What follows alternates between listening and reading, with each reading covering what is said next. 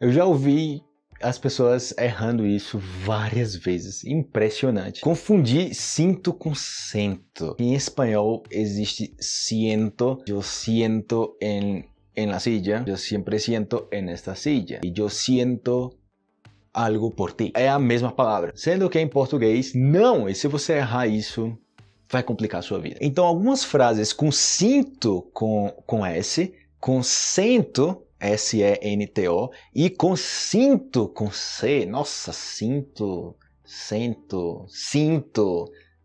Por exemplo, se você errar em português esse ah, que eu, eu lo siento, e você falar, ah, eu, eu sinto muito. Você, na verdade, queria falar, eu sinto muito por tudo que aconteceu. E você fala, eu sinto muito, eu sinto muito. Como, eu, eu sinto yo siento mucho, como de tomar asiento, como yo siento mucho, como, e, e, e como, não entendo por quê. Então você falaria, eu sinto muito, ok? Eu sinto muito o que aconteceu, eu sinto muito se você ficou com raiva sobre o que eu, o que eu fiz, o que eu falei, o que seja, ok? Algumas frases, o um vídeo bem curtinho aqui para vocês, ok? Mas repita porque eu já vi muita gente errando isso, inclusive pessoas que já falam bem português, mas ainda erram. Sinto e sento em português. Por exemplo, aqui uma frase: Eu sinto que eles estão se dando muito bem nessa relação. Arriscaria até dizer que vão se casar em breve. Arriscaria até dizer. Quando você fala que eles estão se dando bem, é que eles estão é, llevándose la vida. llevándose la vida. Eles estão se dando bem, como é, que eu, como é que eu vou explicar aqui sem fazer a tradução, né? É o mais difícil. Quando você está se dando bem com alguém, é que você está tendo uma boa conexão com essa pessoa, ok? Então, outra frase. Algumas semanas depois, ela me contou que disse para ele: Sinto muito, sinto muito, mas essa relação não tem futuro. Foi aí que me dei conta que tinha quebrado a cara. Você quebra a cara quando você se frustra com alguma coisa, você tinha expectativas sobre algo e não aconteceu. Essa pessoa pensava que, essas, que esse casal iria se casar, né? Tipo, iria dar certo, iria funcionar. Tipo, tava apostando todas as fichas nisso. Mas no final das contas, não, não, não deu certo, acabou. E essa pessoa quebrou a cara. Olha só, sinto muito, mas essa relação não tem futuro. Eu não posso falar aí, sinto muito. Sinto muito, mas Sinto, ok? Não errem isso. Um brasileiro nunca na vida do Brasil vai errar sinto e sento. Tem erros que, que a galera que está aprendendo português comete, que brasileiro também comete, mas esse tipo de erro é tipo. Não existe, ok? O brasileiro nunca vai cometer esse erro. Sinto com sento. Não, nada a ver. Aí temos o verbo sentar, ok? Eu sento. Sempre que vou de carona em algum carro, eu sento no lado direito. Sempre que alguém me dá carona, eu te levo eu sento no banco de trás, no lado direito. Outra, eu nunca sento para amarrar o cadarço do meu tênis. Eu nunca sento para amarrar o cadarço do meu tênis. O que é o cadarço do tênis? O cadarço do tênis é isso aqui, ok? Você tem um cadarço que está desamarrado, ok? E você tem que amarrar o cadarço. Então meu cadarço está amarrado. Fazer como esses dias estava na academia, Aí eu vi uma menina que estava com o cadastro desamarrado. Eu falei, ei, ah, o cadastro está desamarrado. Ela, ah, obrigada. Não deu 10 segundos. Quando eu estava me alongando, eu me abaixei e olhando para o meu tênis, eu percebi que o meu cadastro também estava desamarrado. Então, usando os dois, ok? O sinto e o sento na mesma frase. Sempre que sento para conversar com você, sinto que temos muito em comum. Olha só, lembre dessas frases, ok? Sempre que sento para conversar com você, Sinto, eu sinto que temos muito em comum. Outra frase. Eu sinto que sento com uma boa postura. E você, sente dores nas costas? Eu sinto que sento com uma boa postura. Eu sinto que sento com uma boa postura, ou seja, eu não sinto que eu estou com uma má postura. Eu sinto que eu sento, eu sinto que eu sento.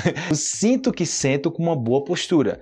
E você, sente dores nas costas? Também você vai ter o cinto para colocar na cintura, ok? Um cinto para colocar na calça. Pode ser também um cinturão, mas vamos no cinto aqui primeiro, ok? Porque tem um conteúdo extra aqui de, de, cinturão. Mas tipo, cinto em português você coloca na cintura. Você gosta de usar cinto? Você usa cinto? Quem foi que inventou o cinto? Será que o cinto vai se acabar em alguma época que as pessoas tipo já não usam cinto porque não tem sentido, porque as calças já são se regulam, né? Tipo, é elástica, tal, não tem, porque se supõe que o cinto é para você sustentar a calça, né? Hoje em dia, tipo, tem muita tecnologia que você não precisa usar cinto, né? As pessoas continuam usando cinto. Então, uma frase usando os três: cinto de cinto, Sento de ciento e cinto, ok? De cinturão. Sempre que sento no banco do teu carro, sinto que o cinto não é confortável. Sempre que sento no banco do teu carro, sinto que o cinto não é confortável. Sinto que o cinto não é confortável.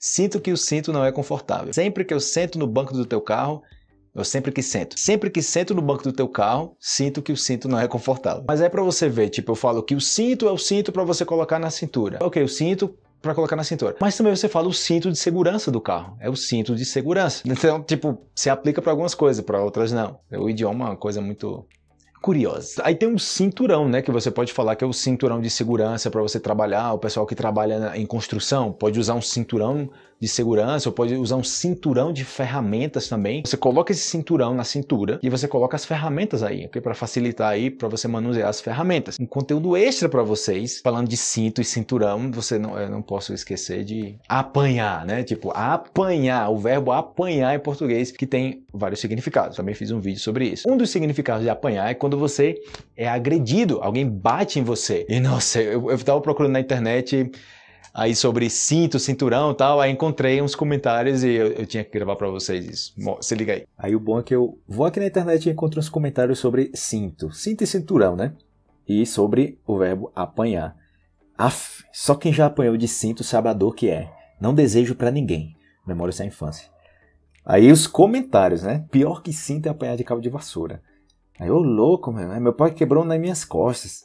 Ah, kkk, ainda bem que na nossa época não havia lei da palmada. Ainda bem que na nossa época não havia lei da palmada, ou seja, ainda bem, ou seja, essa pessoa gostava de apanhar. Pior que cinto é cabo de vassoura e três bambus quebrados nas suas costas. Apanhar de mangueira dói também. Nossa, já apanhei muito da minha mãe e hoje agradeço a ela pelo que eu sou. Bata mais, apanha mais. Nunca apanhei. Já levei umas chineladas voadoras, mas apanhar mesmo nunca. Ah, uma vez apanhei da minha avó de cinto por desobediência. Pior nem foi isso. Ela correu atrás de mim na frente do apartamento onde morávamos com o cinto na mão. Ah, vergonha. Nossa senhora. Vocês viram aí nesses comentários que, nossa, tem muita gente com, com história aí para contar sobre as pisas que levou, né? Sobre aí, a, pá, pá, com cinturão, com tudo, né? Com chinela, com um pedaço de pau, com um montão de coisa.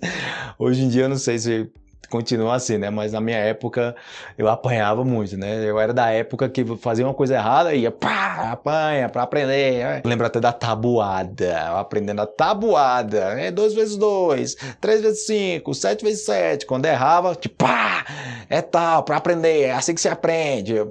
Beleza, galera. Manda um grande abraço aí pra vocês. E se gostaram, já sabem, compartilhe com os amigos e amigas de vocês, ok? Na descrição do vídeo, como sempre, eu deixo mais conteúdo para que vocês continuem avançando, beleza? Valeu, até a próxima. Fui!